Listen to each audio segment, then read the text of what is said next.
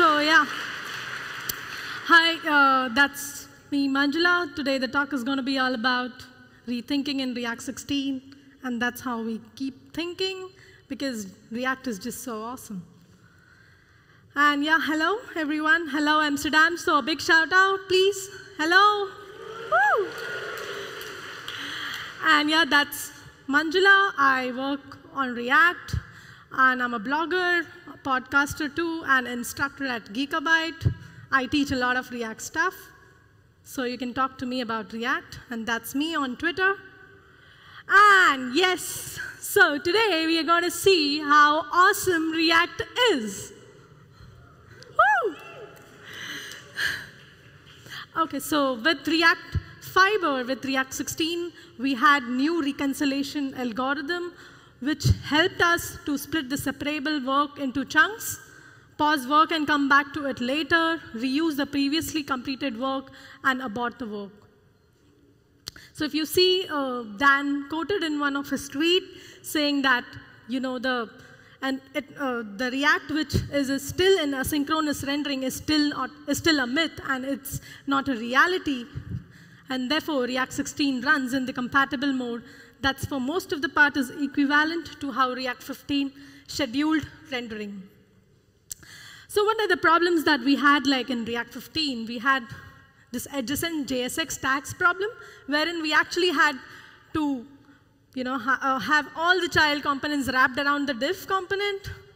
And yeah, React 16 like solved for us. So if you see this code, if I would run this code, this would give me something like that. And yeah, that's how I'm like, it would give me an adjacent JSX element error, and it would say that you know you need to wrap your element inside a div tag, and that's how fragment solves the problem for us. With fragments, you can actually return multiple children from the component's render.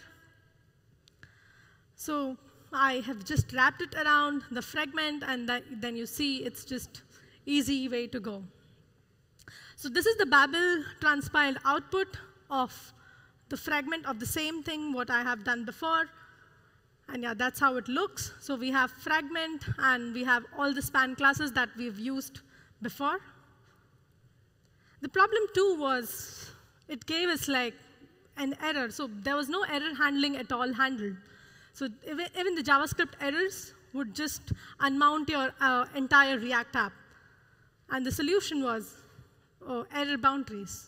So error boundaries kind of gave us that fact that if you wrapped anything around the error boundaries, it would just catch the error, all the JavaScript errors, and it would not let your app unmount itself, and instead would show you a fallback UI. So if you see an example, the last card says, hey, sorry, something went wrong, but still your app, the functionality works as it is. Well, in React 15, we did have the unstable handle error method, but I think no, nobody used it since the name itself says unstable. And yes, in React 16.2, we got the component did catch, which kind of got us the JavaScript errors, and that was, again, a win for us. So Facebook Messenger also uses uh, error boundaries, the feature which was uh, implemented in 16.2. There are some problems with custom DOM attributes. So if you see on the left-hand side, the, in React 15, the box name, the attribute which is passed was still displayed as div, but on the right side, if you see, the box name test is still be showing as a prop. So whatever props you're passing, you can just have a look at that. It gives you a clear visibility in React 16. Oh, yes, so here was the main thing that came up, and that was React New Context API. So if you've ever looked the docs previously that said, hey, no longer use it, or else it will not be a stable application, right? But then, nothing to worry about and nothing to get afraid, because I swear you can use it, and it's no longer experimental. So definitely you can go and use it. So what you do is you just create a context wherein I have just created a context using default hello. if you just console log the context, my context, it gives you a consumer, the provider, the current value, and the default value. So what is this consumer? What is this provider? Where so provider is a place where all our data stays. So if you say, if you see here, we just have a provider with a value world, and it is going to render all of the children here. And if you see, we're passing the value world to the provider, and that's how the provider is again wrapping our consumer. So all our data will be actually accessible in our consumer.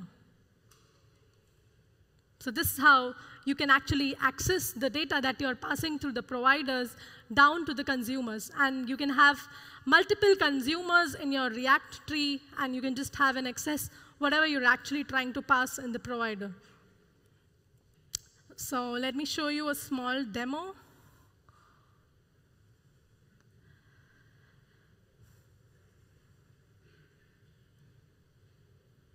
So if you see this uh, state, I have passed name and uh, age and is employed as a state. And this is nothing but this is my provider component. And what I'm doing in consumer component, is it visible? Yeah? OK. So what I'm doing in uh, consumer component is, is just I'm trying to get access to all of the data that is in provider.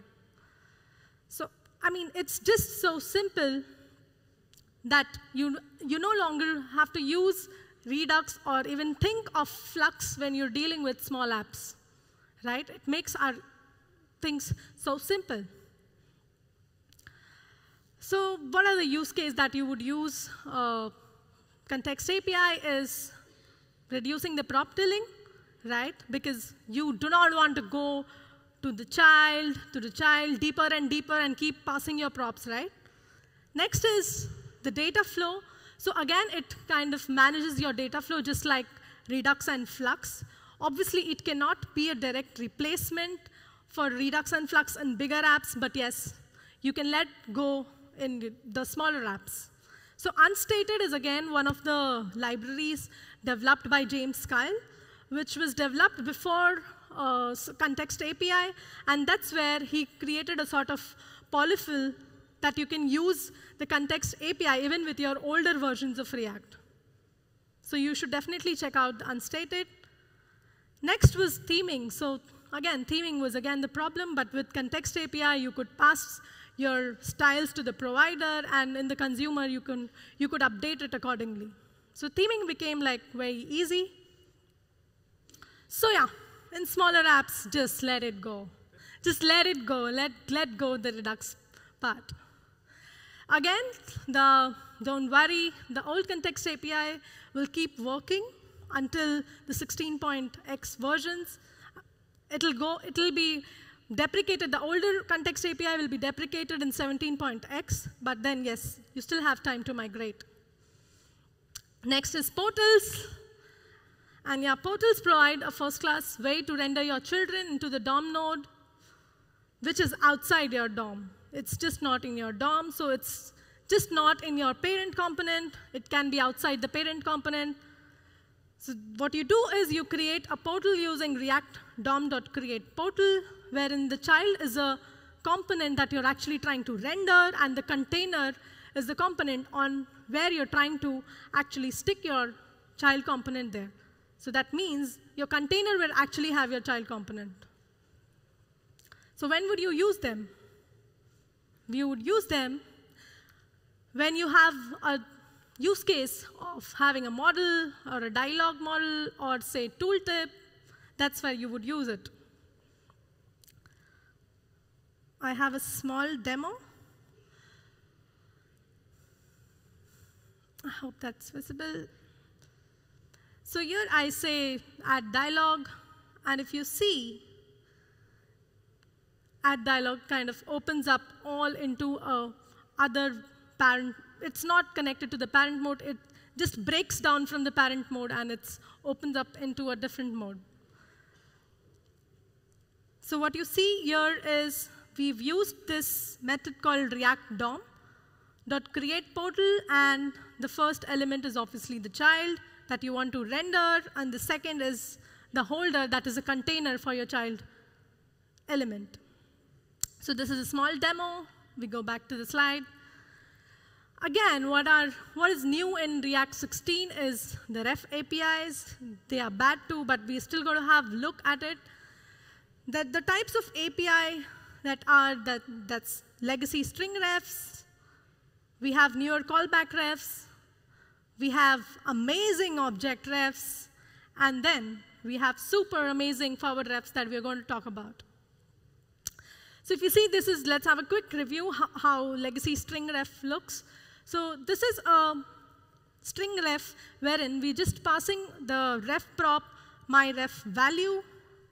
And what you're actually trying to do here is you're trying, and then you're trying to reference this refs using the implicit this parameter, and then you just say focus my that input element. So you're getting the direct access of that input element. This is how you would do using string refs. Next, again, design was a problem here because async, so React is kind of moving on the direction of async, wherein the string ref API was really a problem for them. Again, it couldn't handle the render props design pattern, and then it really couldn't manage the static type version, like using it with TypeScript, and then I would say just don't use it. Next was near callback refs. So near callback refs was nothing but you would actually pass a function to the ref prop instead of the value string, and that's how it worked. You actually went and assigned a function to it, and then you actually stored your ref. And this is how you would actually go and say, in your component did mount, you would say that focus my ref. This had a better design, but again, it was less user-friendly. So let's have a look at object refs. So object refs kind of gave us a new so this, this is a new feature in the 16.3. What you would do first is you would just create a ref, say my ref, and then you would actually assign that ref to this not my ref. This is how you would do. So the same ref, you're just assigning it to the ref prop, and then you would actually you would actually say that you know this is my ref, and I want the current property to be focused. So this dot myref dot current dot focus just worked for us. So this, is, this was a new object ref wherein you're just passing the object that you created using create ref. This was much simple and it kind of sorted uh, the problem uh, of, it kind of added a simplicity of string ref and the callback APIs. Forward refs were awesome too, and if you could see, this gave us much more than what we wanted. So it's in 16.3. What we do is we just go back and we say, you know, hey, React, just dot forward ref. So the dot forward ref was another method from React wherein we would just create my input from there. And then I would actually pass that this dot text input from that created ref, what I've created previously. So my forward ref is actually passing my ref from forward ref to the input ref. And that's where I need to do nothing and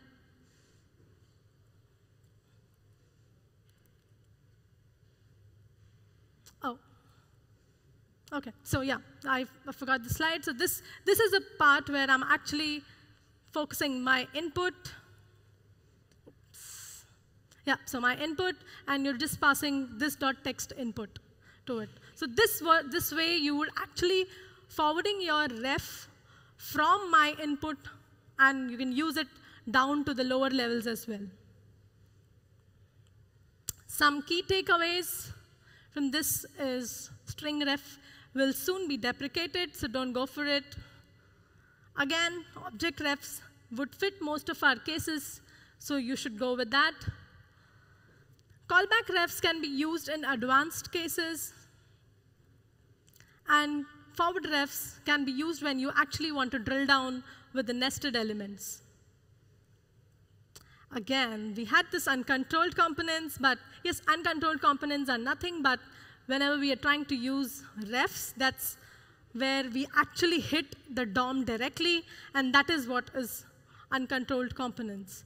So you're not using props, but you're actually using ref to reference your DOM element, which is bad. Yeah, they are bad. But yeah, it's, it's kind of non-React way of doing things faster, and if you want to go dirty, do it, or else just don't do it. So yeah, it's contradictory also, because sometimes you might have a use case where you want to use, but sometimes it's just not. So don't overuse it. So these are the places where you should be using it. You can use it on input focus, say text selections, something that hinders the DOM directly, but otherwise not. Next is render props. So render props gave us a method of sharing your code between the React components.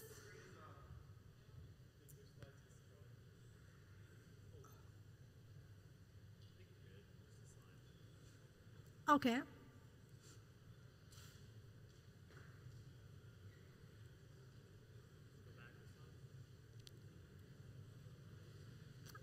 This is gone. Ah.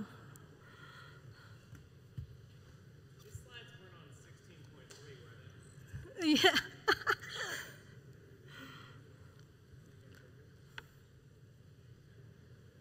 Too much of disturbance. Well, sorry for that.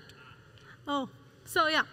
Uh, render props gave us the ability to share code between React components using a prop whose value is function.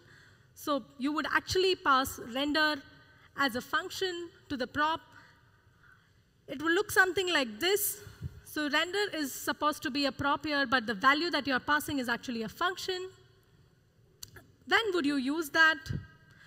So let's say, you know, everyone must have a use case wherein you're just making an API call and you want the loader to load. And then after loading, once you have the data, you kind of want to show the list, right? Something like this. Now, let's have an example. How would you do this? So this is nothing but this is a repo list that is being listed here.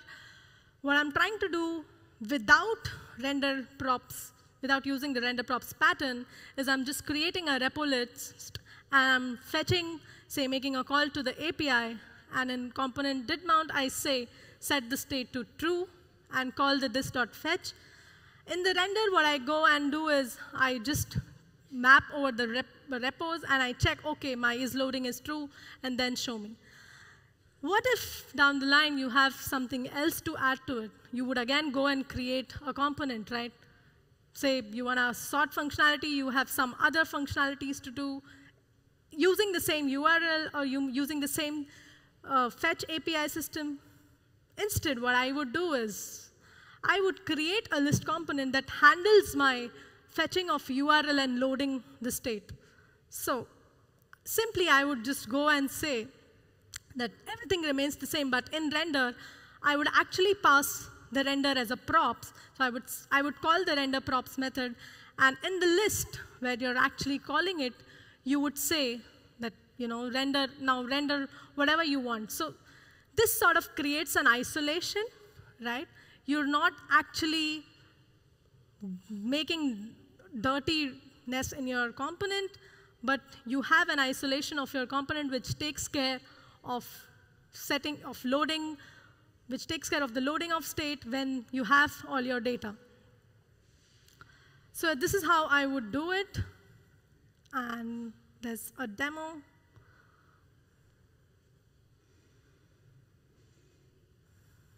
So this actually says that, you know, I have a list of components. Now what I've actually done is, so this is my list component. I'll zoom a bit.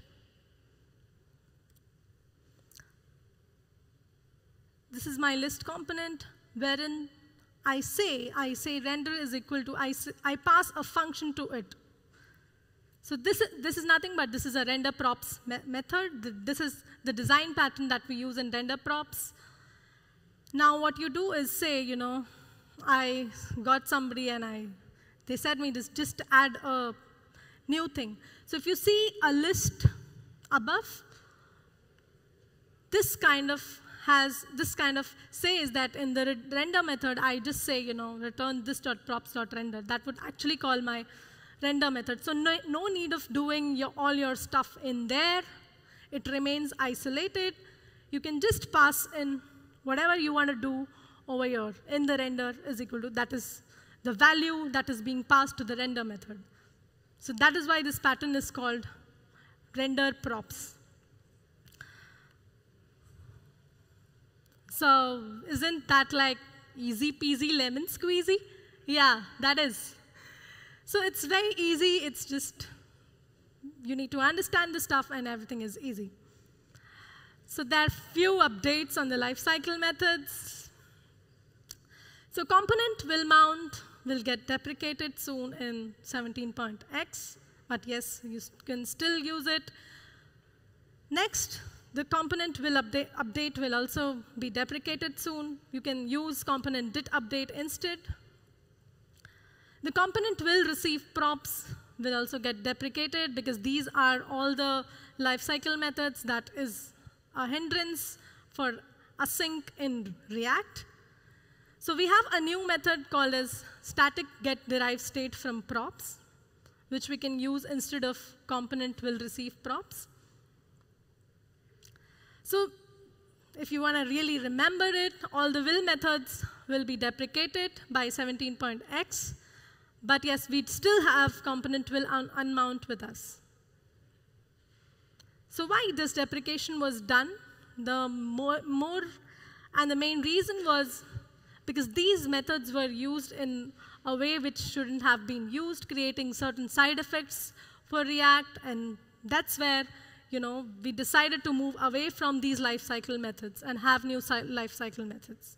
So these are, if you really want to go deep into it, you can have you have RFC to Reacts, which you can dig in and have more problems. Why are the problems related? So the get derived state from props is one of the life cycle methods, which is static. How are we going to set state and stuff in this? Because there's no access to this, right? The static function doesn't have access to this, but there's no problem. We are no longer going to use this dot set state what static get derived state from props will do is it will return whatever state is updated. So if the state is not supposed to update, it will just return null. And if it's supposed to update, it will return you that updated value directly. So we are not going to depend on set state no longer. So no this needed here. So again, there's a method called get snapshot before update. So get snapshot before update would actually, it's a lifecycle method when you would not use in all of your scenarios or use case. I would say you would, when you want to, say, preserve your scroll logs at every re-renders, you might use. But then what it gives us is, it returns us something which you might pass it to your component did update method, so you see, you're actually passing that snapshot, and the component did update. So when you're dealing with use case like you want to preserve your scrolling, and on each re-renders, you might use that in that use case. But other than that, I don't find any use case. So what are the timelines? The timelines, as said, that you know the component will receive uh, the component will receive props is going to get deprecated soon. But still, until 17, you can, like in 16.3, it will get deprecated, but till 17, you can use the unsafe underscore component will receive props. Next is you can use component will receive props, which will get deprecated in the future versions. So I would suggest to use static get derived state from props instead. So we have React code mod, which kind of gives you, which when if you run it, you, it kind of gives you that flexibility of adding the unsafe prefixes. So no longer, you need not do it manually, but it, React team just gives you that thing.